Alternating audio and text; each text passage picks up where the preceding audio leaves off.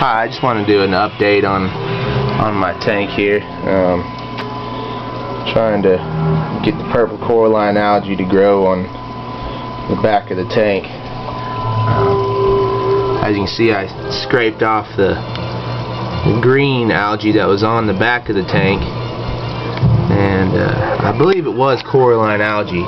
As, um, as you can see in the overflow box, you can see some little places where the coralline algae is growing. I just didn't know why I could grow green coralline algae, but I can't grow purple coralline algae on there. Just gonna see if uh, if that worked by scraping off the other algae and uh, trying to let that purple coralline algae grow. Show you my snails last time they were, I guess, sleeping. So there's one of my snails right there, and here's my other one on the glass right here.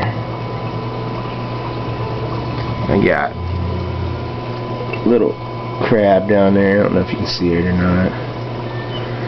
And there's a little scooter blenny.